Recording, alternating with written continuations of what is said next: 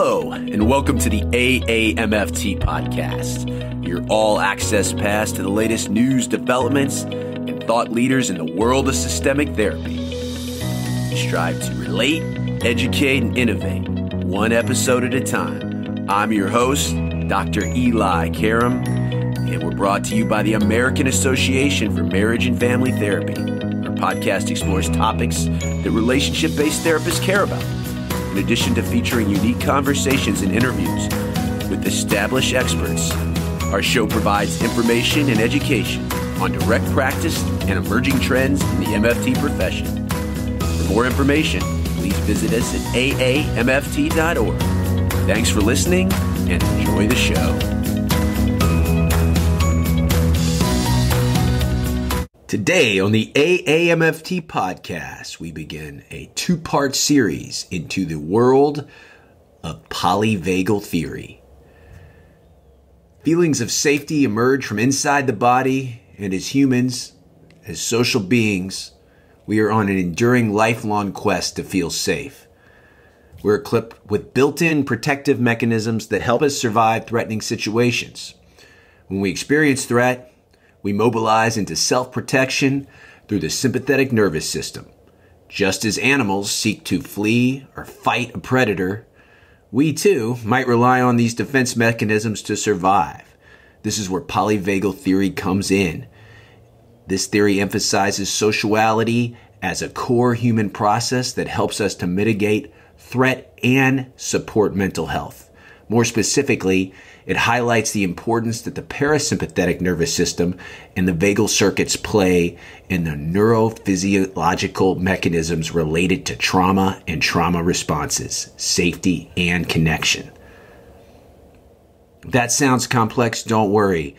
Today's guest, Deb Dana, is going to help us be able to understand how valuable this theory about to celebrate its 30th anniversary is important to practicing therapists, especially our systemic listeners. In her book, The Polyvagal Theory in Therapy, Deb explores co regulation, a very important topic we'll talk about today. That's an interactive process that engages the social nervous system of both therapist and client it's common for clients with trauma, especially those with complex PTSD, to alternate between hyperarousal and hypoarousal states. However, we can help them to feel safe and connected, even in the midst of difficult emotions and body sensations. Co-regulation requires that we, as a therapist, are comfortable with a wide range of affect and arousal states because our clients with developmental trauma may have never had another person who was able to be with them during their distress without becoming anxious themselves, shutting down, or bailing in the midst of the client pain. So applying polyvagal theory in therapy, especially systemic therapy, involves engaging the social nervous system in ourselves and in our clients. We offer engagement as an experience of mutuality and reciprocity. When we as therapists offer our openness and receptivity to clients, they feel accepted and understood. Let me tell you about Deb Dana. She is a legend at taking the great Stephen Porges' theory and applying it to clinical work. She's an LCSW she has an amazing story she'll tell us about today, and, and much of her work was systemic and working with families. She's an author, she's a speaker, and a world class clinician and trainer. Her work is focused using the lens of this polyvagal theory to understand and resolve the impact of human trauma in our lives. Along with Stephen Porges, she is a founding member of the Polyvagal Institute. Her work shows an understanding of how polyvagal theory is applicable across the board to relationships, to mental health and trauma. She's well known in translating this theory into a language and application that is both clear and accessible for therapists and the general public, and for her pioneering rhythm of regulation methodology, her tools, techniques, and practices, some which she'll share uh, with us today in the interview. Deb believes that we all benefit when we have a basic understanding of the ways the nervous system works and learns how to become active operators of this essential system. You can read her many books, as I said, The Polyvagal Therapy and Theory uh, from Norton, uh, The Rhythm of Regulation, There's also polyvagal exercises for safety and connection.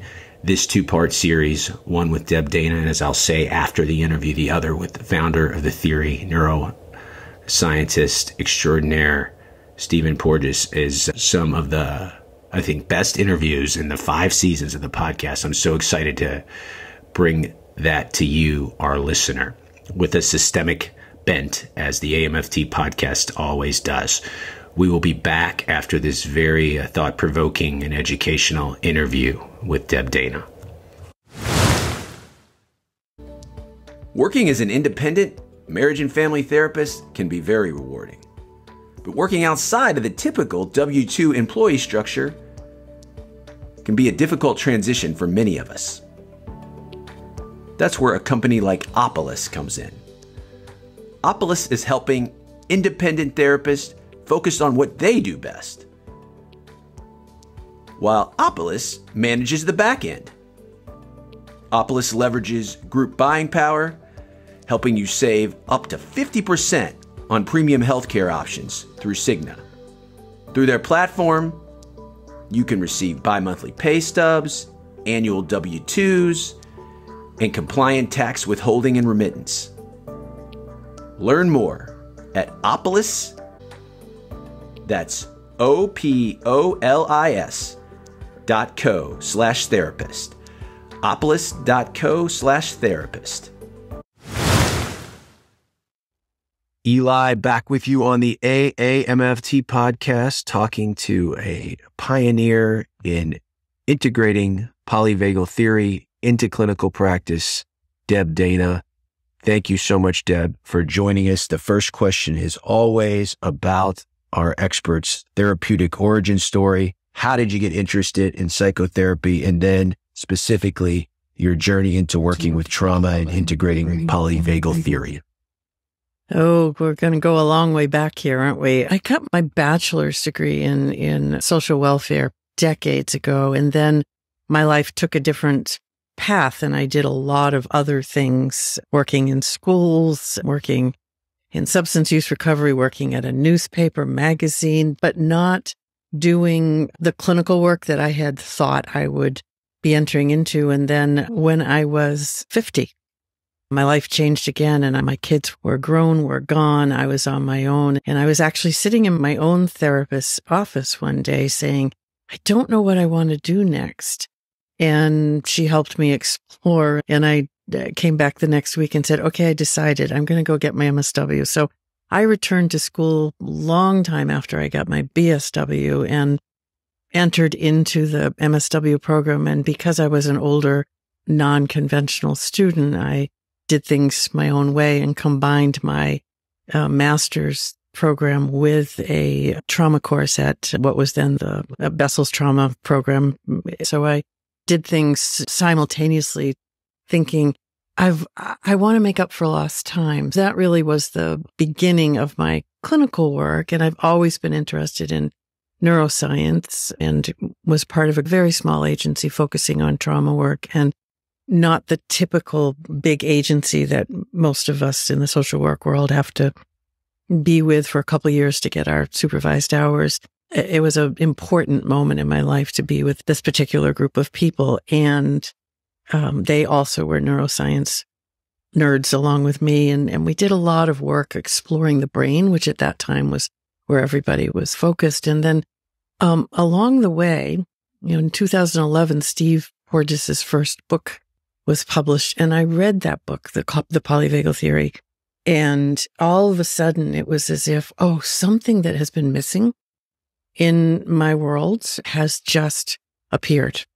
And I then decided, okay, I really love this theory. It explained so much about the work I'm doing. How do I bring it to clinical practice? Because Steve is a brilliant scientist in the academic world as well, but not a clinician. And so, so oh, I want to do something with this. And I reached out to Steve and invited him to come to Maine where our group, it was then called Island Institute for Trauma Recovery. It still is in existence. We did a lot of family work at that times and we had spent years focusing on trauma treatment, understanding ways of working and creating new ways of bringing trauma work into clinical practice. So it seemed as if Steve coming to Maine and presenting would be a wonderful addition. And he, of course, said, yes, I'd love to. He's a very generous, kind, humble, and brilliant human. And he came to Maine and spent several days with my group and with me. And that was where it all emerged in a deeper way. We got to know each other. He respected the work I was doing. I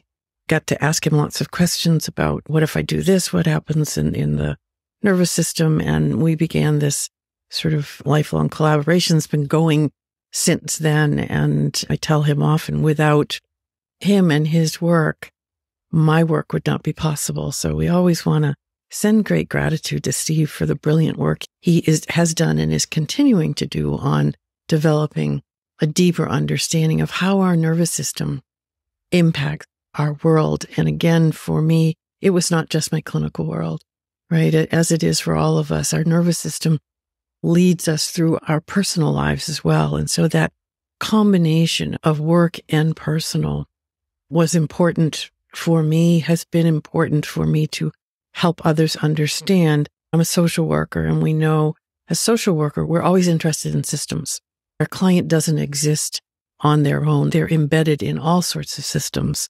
So understanding my personal nervous system has been important because I understand my nervous system is then connecting with my client's nervous system and we are forming a shared system and then it moves out from there. As a systems person, eh, the nervous system was a, a perfect landing spot.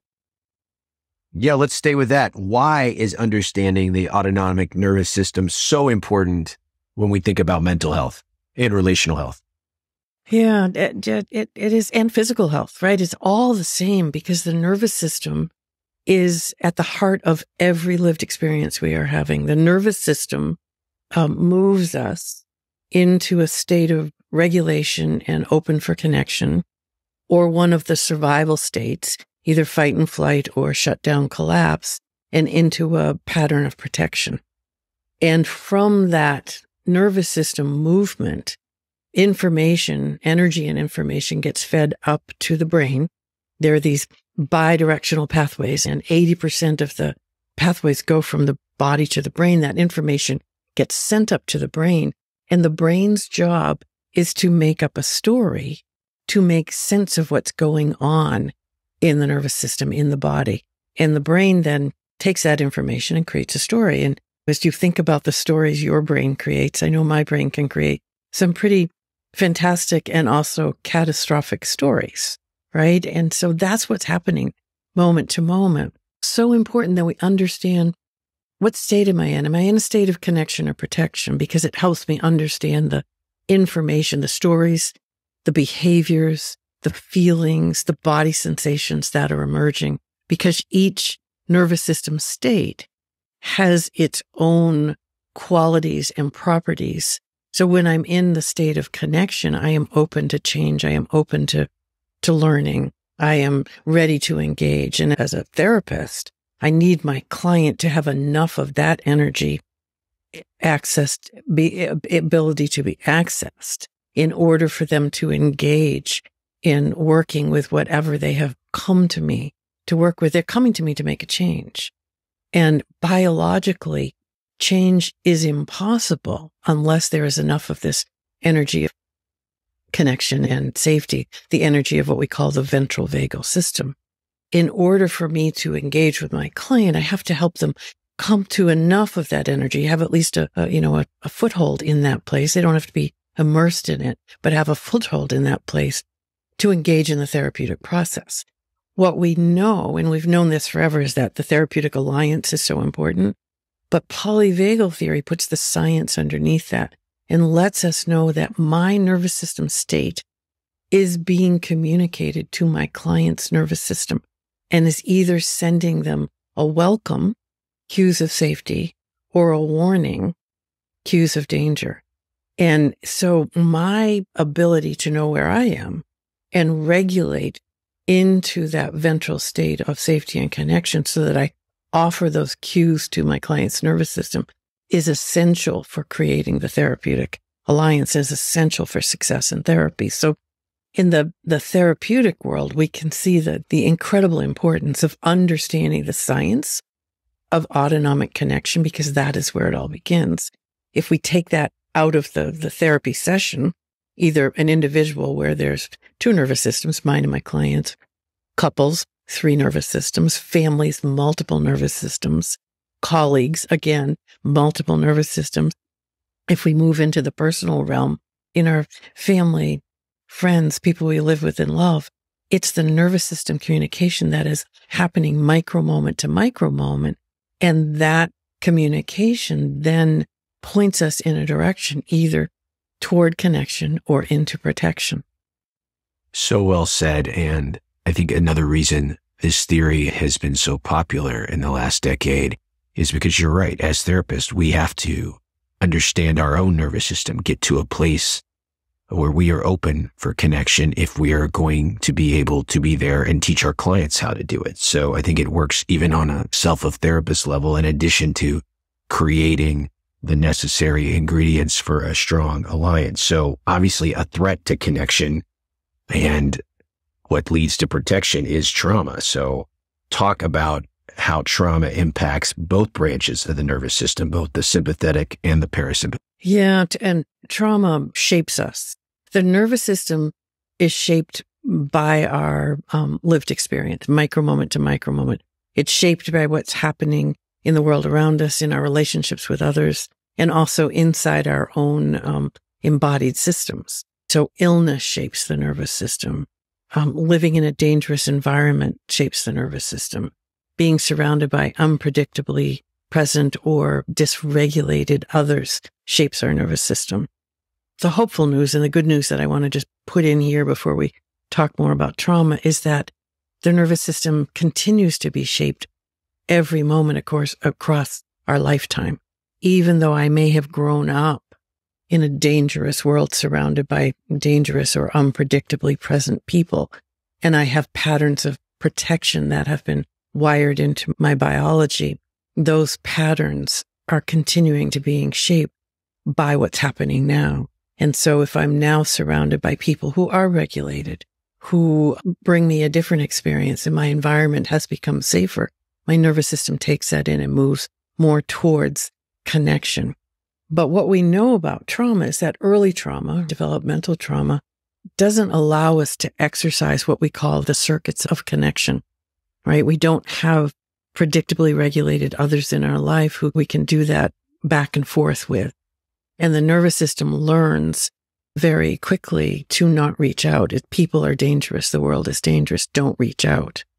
And then we move into a pattern of sympathetic fight and flight, anger, anxiety, those pathways, or a pattern of dorsal disconnect, become invisible, get very small, quiet in order to survive. Those are the survival pathways. And our nervous system, although we do travel to both of those survival states, both the sympathetic fight flight and the dorsal branch of the parasympathetic shutdown collapse, over time, we have what I call an autonomic profile and, and we move into one of those survival states more easily, more quickly.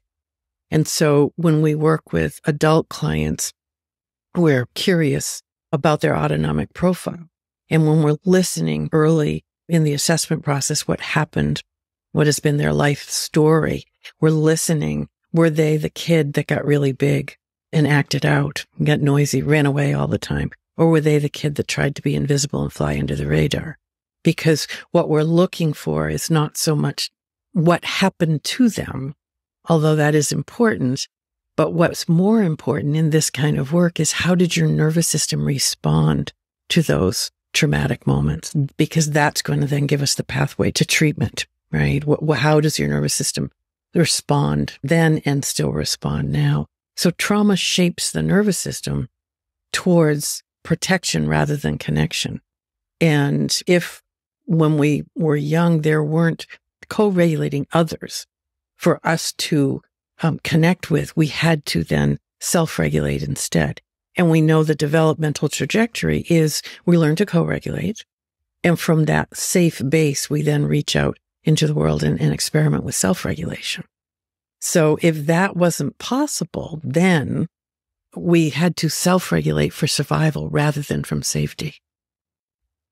You just took a beautiful, complex subject and distilled it down into very manageable terms, not for only our listeners, but how a therapist would describe that to their client in a very non pathologizing way to explain how we are the way we are and how trauma shapes us. So I just love how you said that.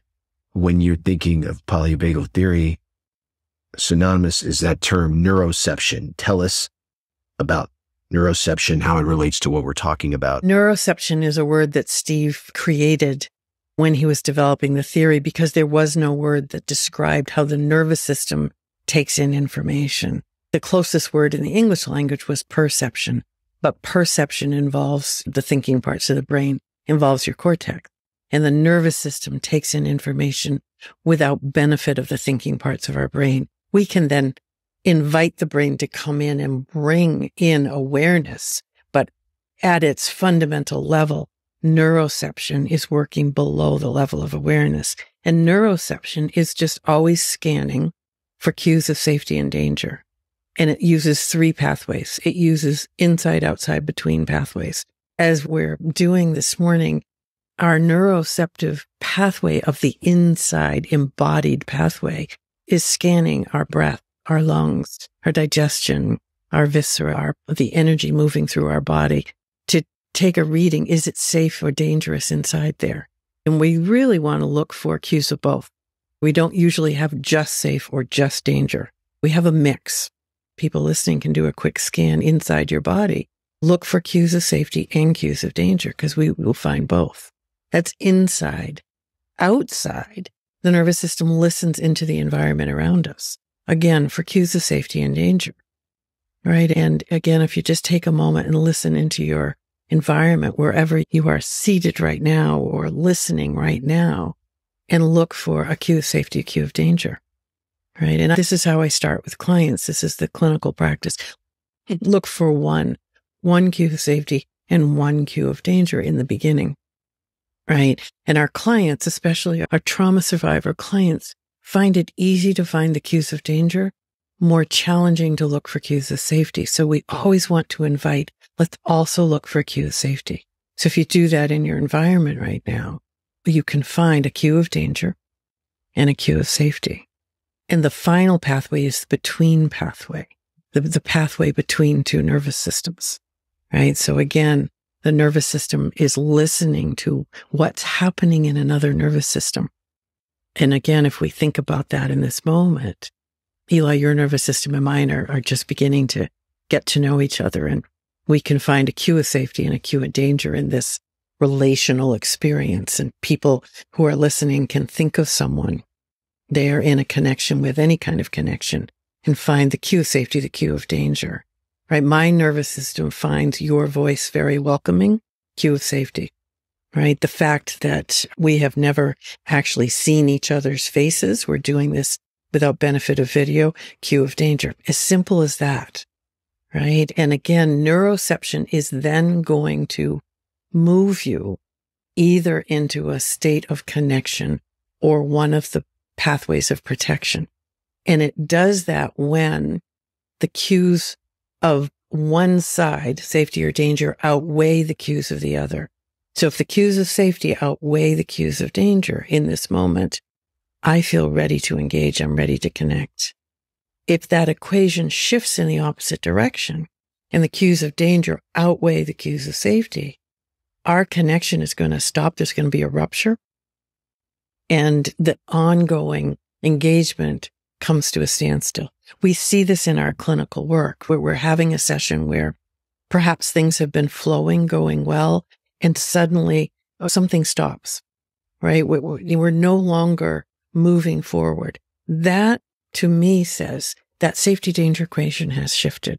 The cues of danger now outweigh the cues of safety. And my job now is to be curious with my client about what just happened the, the safety danger equation shifted. Let's see if we can identify what happened. Was there a cue of danger that just came in?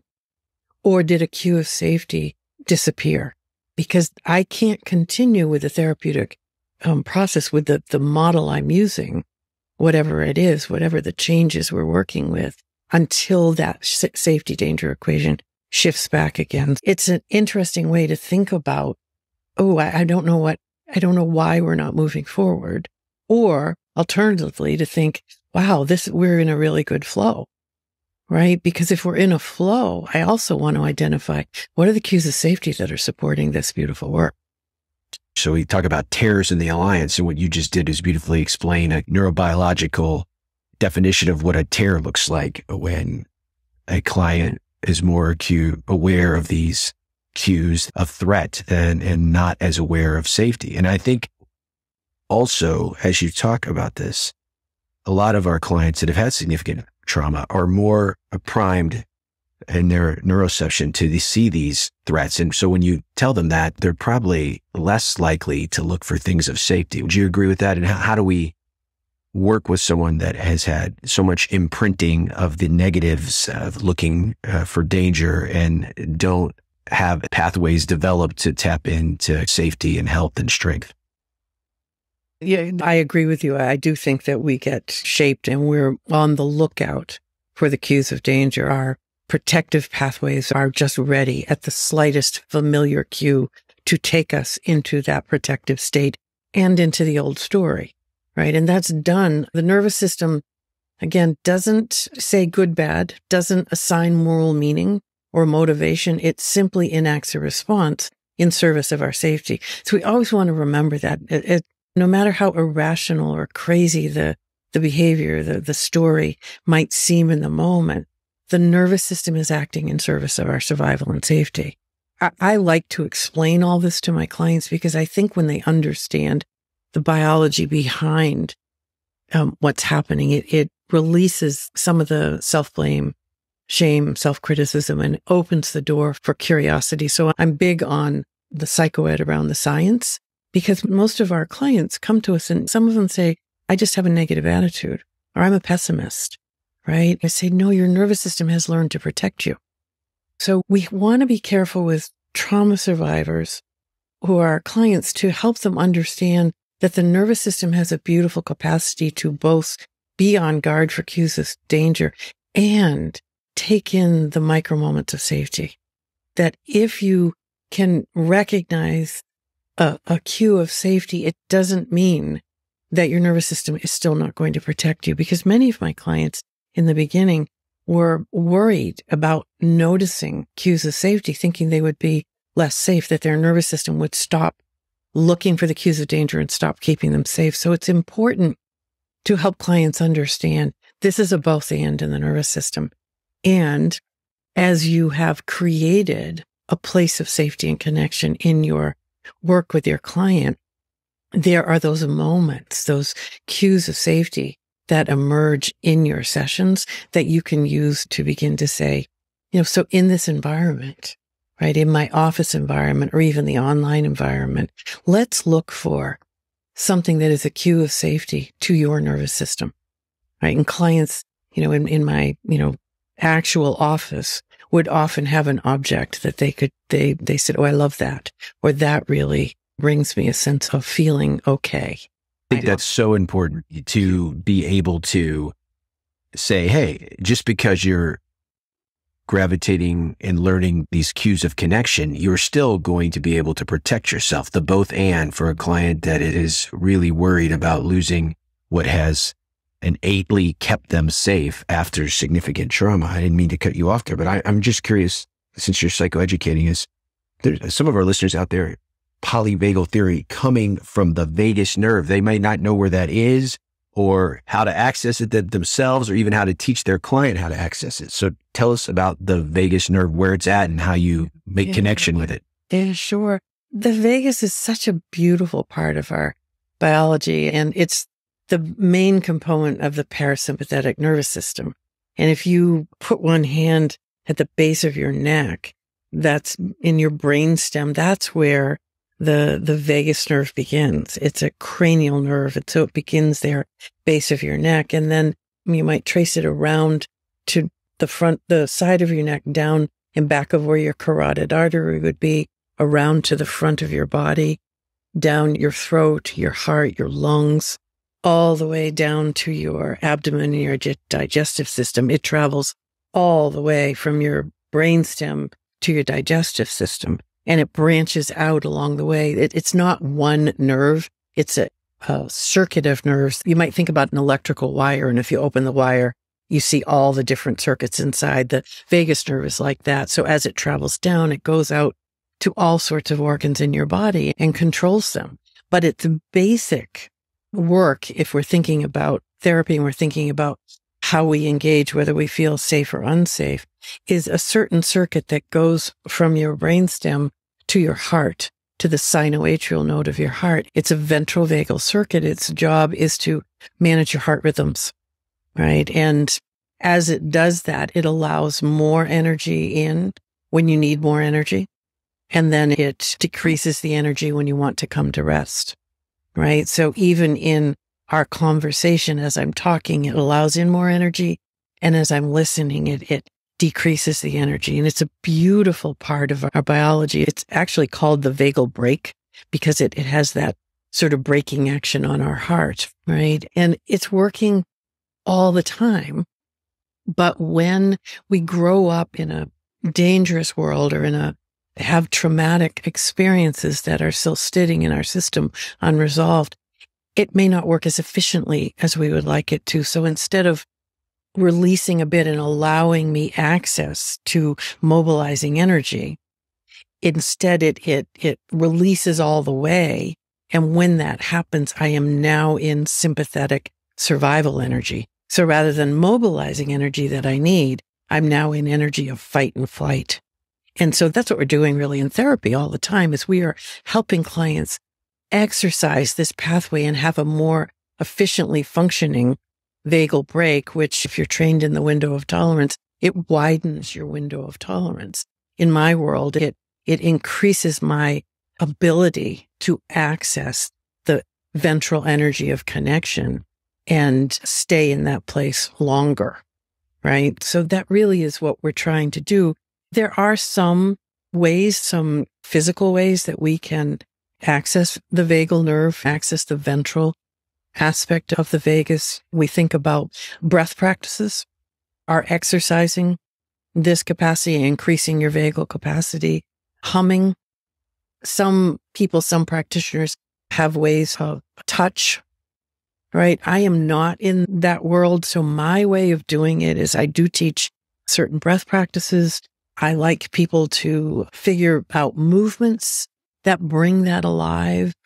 What are some of the ways that self touch helps you feel connected to this, the qualities that your ventral system brings alive? So for me, it's more about exploring with clients.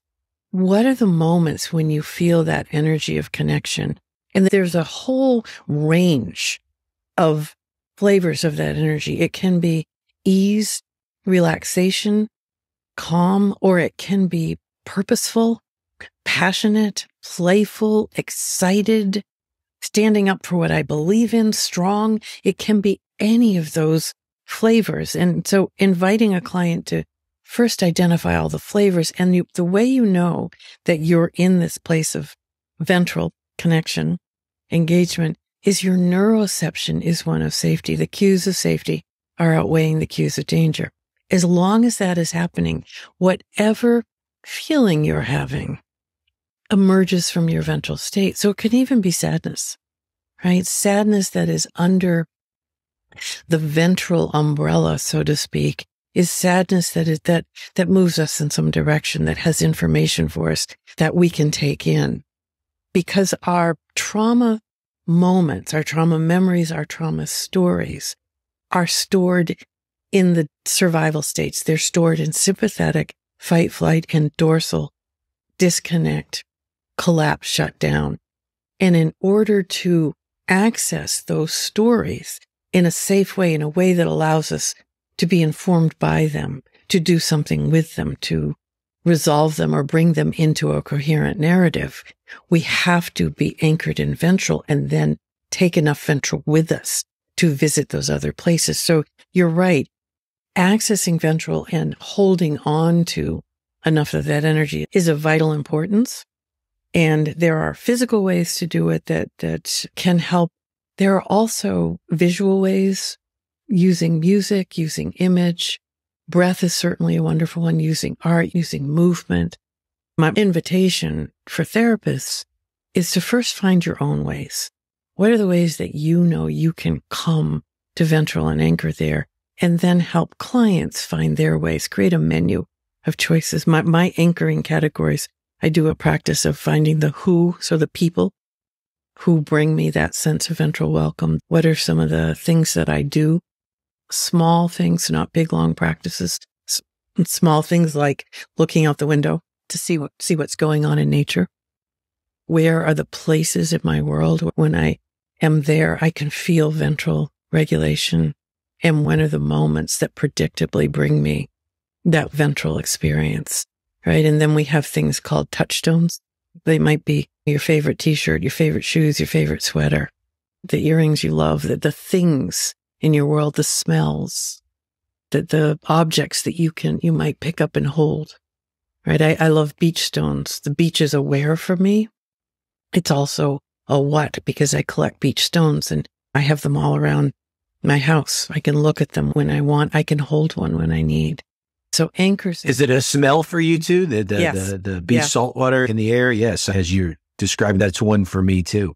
So I think when we think of our who, our what, our when, our moments, I think it's it's very important that this is not just oh we teach these one size fit all exercises to clients. It's being curious about the client, right, Deb? And what works for you might not work for your client, but if you're curious and being curious, it takes you into those very early experiences with the clients and a lot of these protective factors. Now, a, lot of our listeners are working with couples and families. So this, while your pioneering work of taking Stephen's theory and, and integrated into psychotherapy may not be associated with couples or families, but I think we, when sitting in the room with a couple where you're trying to create a sense of safety and connection and our partners feel threatened by the other person or a, a parent trying to connect with their teenager and the harder they try, the more the teenager pushes away on their attempts. So talk about how what we've been talking about the last half an hour fits into potential working with couples and families.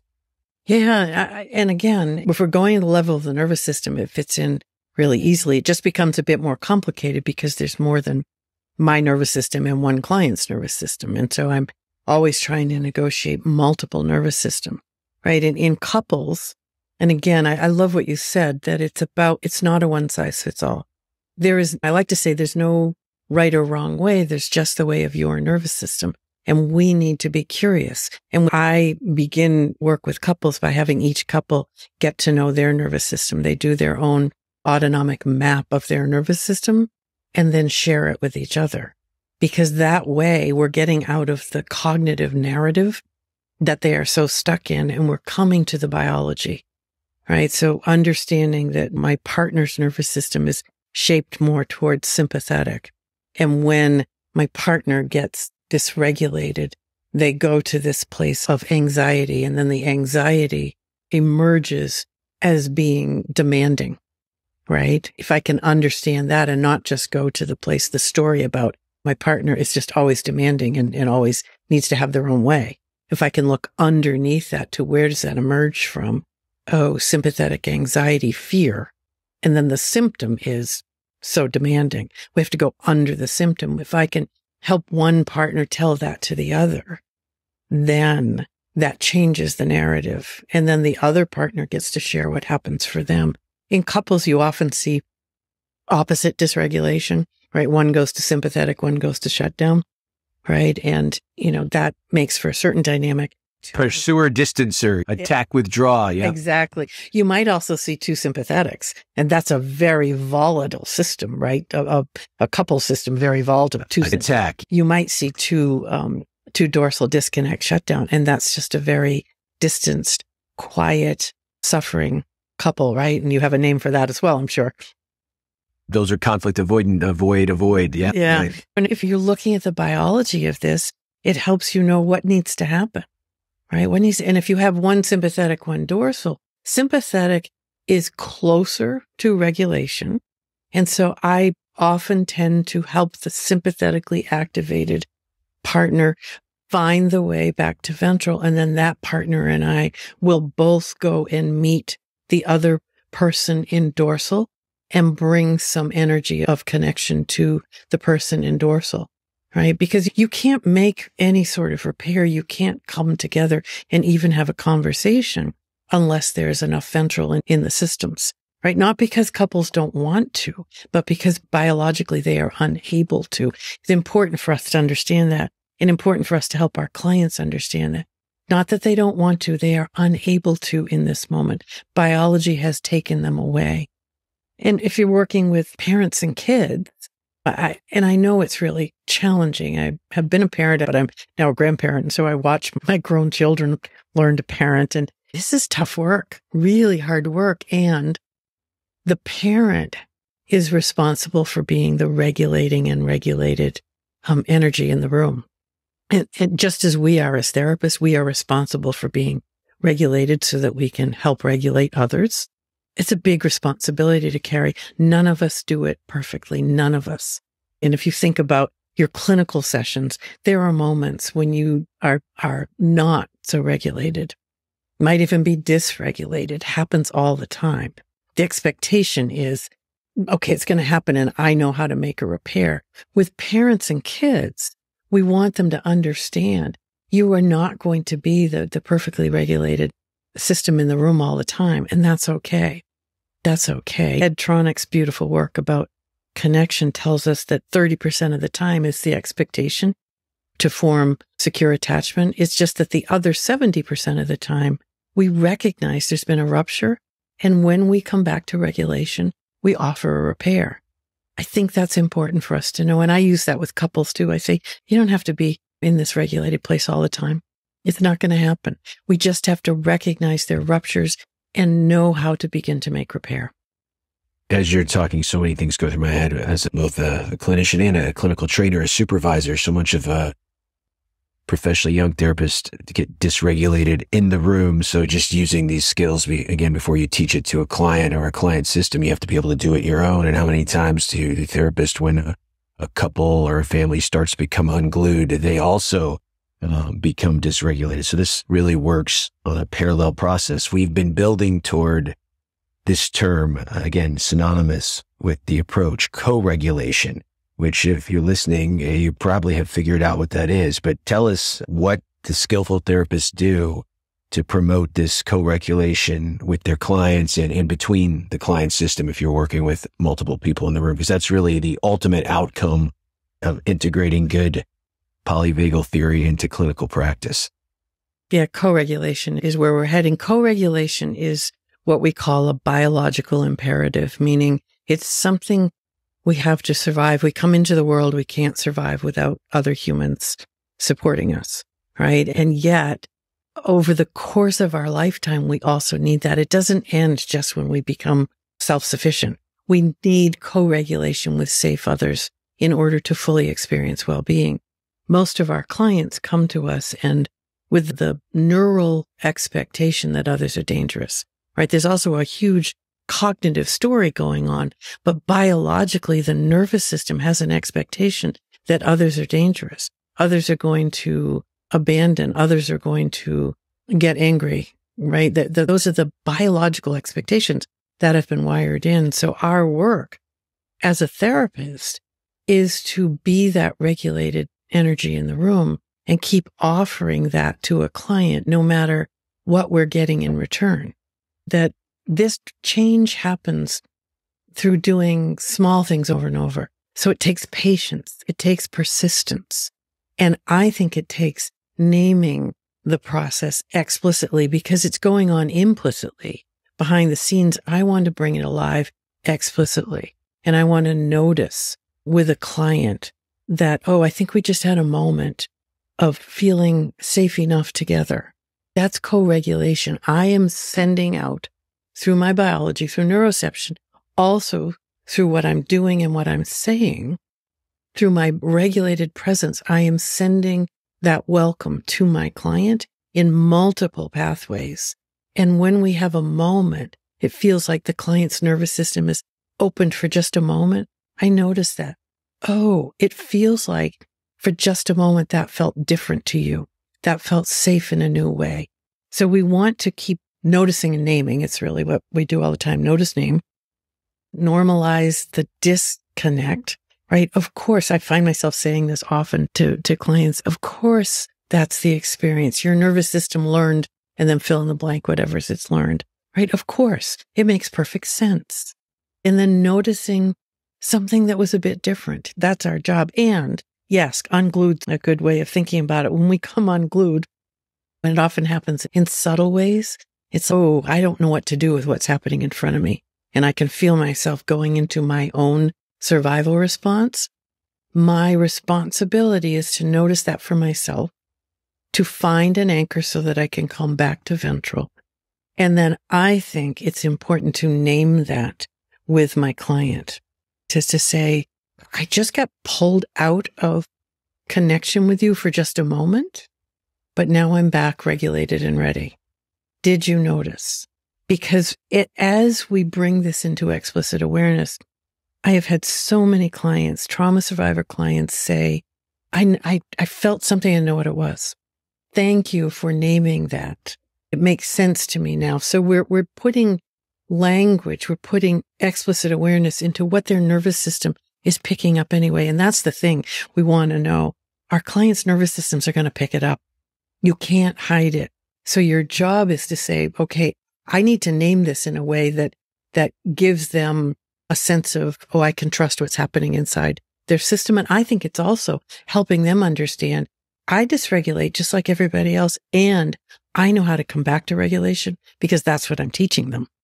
Exactly. That's the, the three Ns. Uh, so beautiful. Noticing, naming, and normalizing. We talk about on this show a lot of times. And one of the, again, common factors in psychotherapy is both receiving feedback and giving good feedback to the clients. And this is a, a very great way to do that. The process, as we talk about in systems therapy, is, is sometimes and many times much more important than the content of what the client or the system is telling us. This is feedback on the process, these micro moments in the session of connection and of safety. And even when you get dysregulated or out of sync, that you can come back into sync. And I think it's always very powerful when the therapist even someone as expert as you can normalize the process of how even the best of us get out of sync and have to resync. Listening to you this hour, I could talk to you for another hour. it, it is shocking to me that this is only something that you had this career change at 50, even though you have this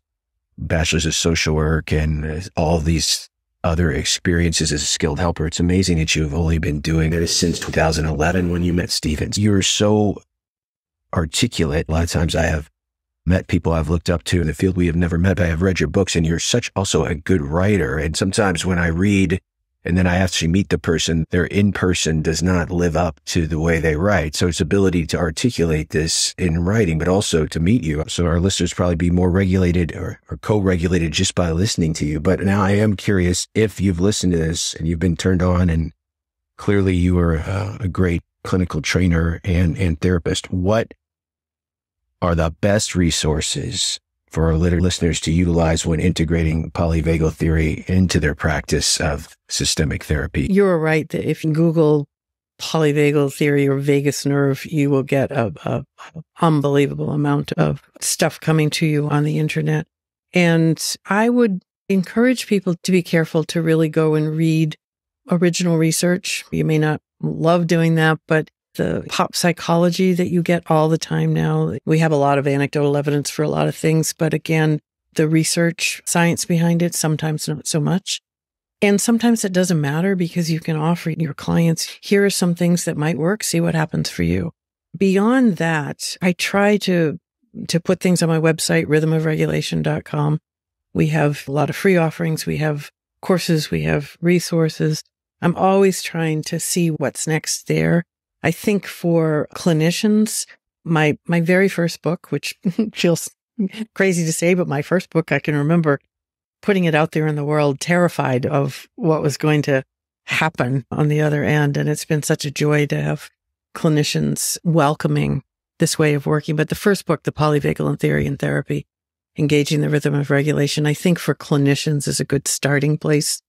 Um, for non-clinical, more of a lay audience, a general audience, Anchored was the book I wrote for that. And either one of those are great starting places. And then there are all sorts of other books. My the polyvagal practices was just released. That's been a fun one to a, a short, small one. The card deck, I think is people are telling me is really um, interesting to use in clinical work because it's one of those pick a card, any card, you know, things, and it takes you on a practice. And so I Oh yeah, quickly. So I have read all the other books. I have not experienced the card deck. What does the assumer Yeah. get in the card deck? The card deck's great because it divides into sections. There's a section for each for ventral, sympathetic, dorsal, and then a section for integration, helping the three states work together.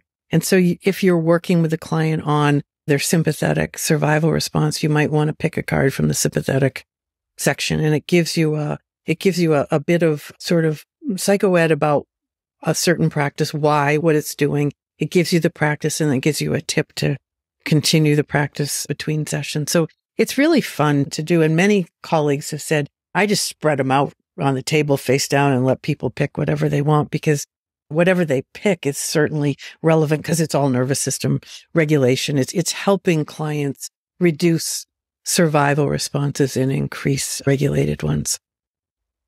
Last question. You've done such a great work in such a relatively short amount of time. We look 10 years from now, where do you hope polyvagal theory will be and what is the next iteration or evolution of this?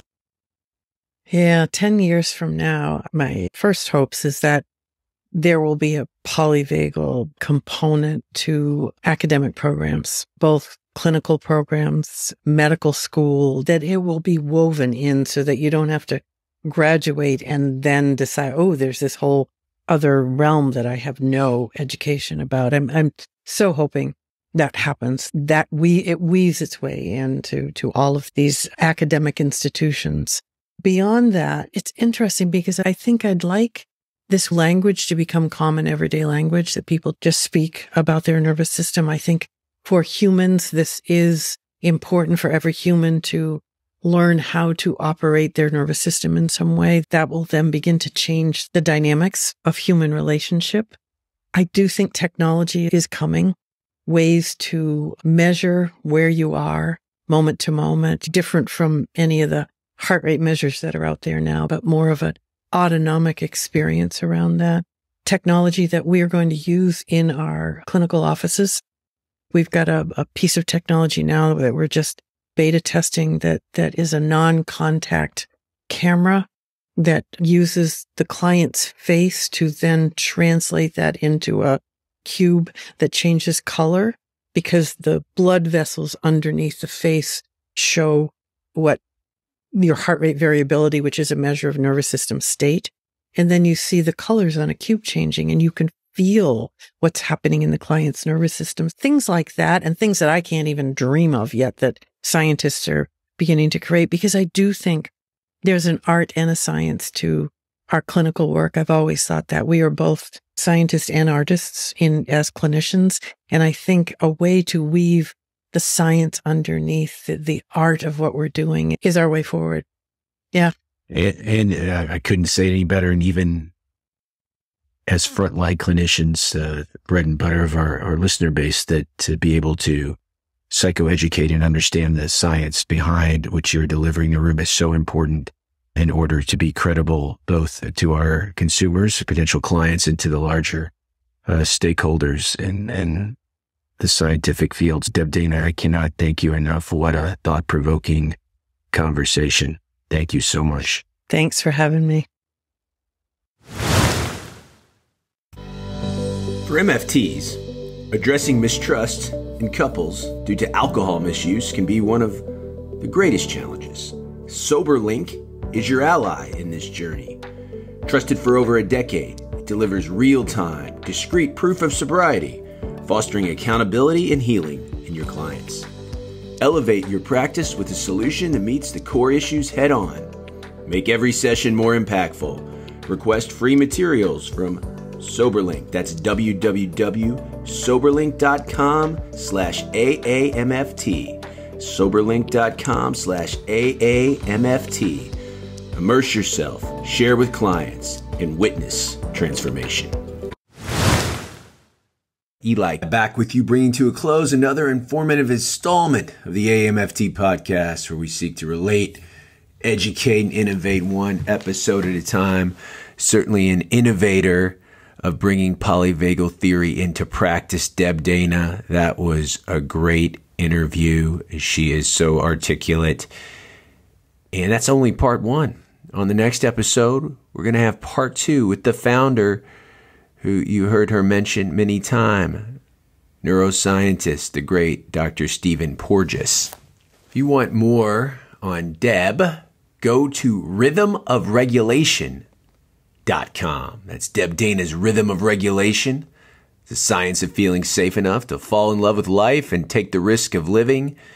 You can find a polyvagal perspective on how we are human as Deb says. So there's polyvagal theory for clinicians and for curious people. And if you want to see Deb and Stephen live, the Legacy Talks live from Atlantic Beach, Florida, November 10th and 11th, right around the corner. It's live and it's virtually online. Registration is open. In person seating is limited, but you can find all you want at the polyvagalinstitute.org, where you can find courses and learning, everything, the latest polyvagal research, Legacy Talks Live, bringing polyvagal theory to life for therapists and all types of mental health clinicians, including MFTs. Stephen and Deb, you won't want to miss that. I think there's about 10 continuing education units available. I get many questions about what I'm doing outside of the podcast and these common factors I refer to uh, periodically on episodes, like we talked today about operationalizing an alliance tear and repair when we were talking about co regulation. You, know, you, can find out everything I'm doing, uh, elikaram.com, including a book I wrote with AMFT President elect Dr. Adrian Blow, bringing common factors to life, where we want to renew your motivation, energy, and creativity in your systemic therapy and teach you how to integrate from a common factors perspective that will take away the staleness and hopefully reinvigorate the way you practice individual, couple, and family systemic therapy. We got lots of handy tools and exercises in there and used by both young and senior therapists alike. Please drop me a line. I'm at Eli at NorthstarCounselingCenter.com. If you're a regular listener, we thank you for your continued support. And if you just turn us on today because you're interested in polyvagal theory, I'd like to remind you we have five seasons worth of shows that explore cutting edge clinical topics that relation based therapists care about we have great, unique conversations like the one you just heard with established experts and pioneers in our MFT world of systemic therapy. As always, subscribe and listen wherever you get your favorite podcast by searching AMFT Podcast. I'm partial to iTunes and Spotify, and we'd really appreciate a review Feel free to reach out at that email, eli at northstarcounselingcenter.com, and let me know what topics you'd like to see covered in future episodes. Until next time, my friends, stay safe, stay systemic.